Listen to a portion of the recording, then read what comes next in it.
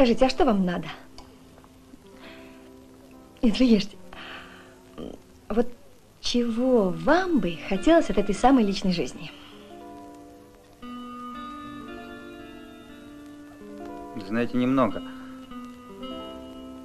Чтобы был рядом человек надежный. М.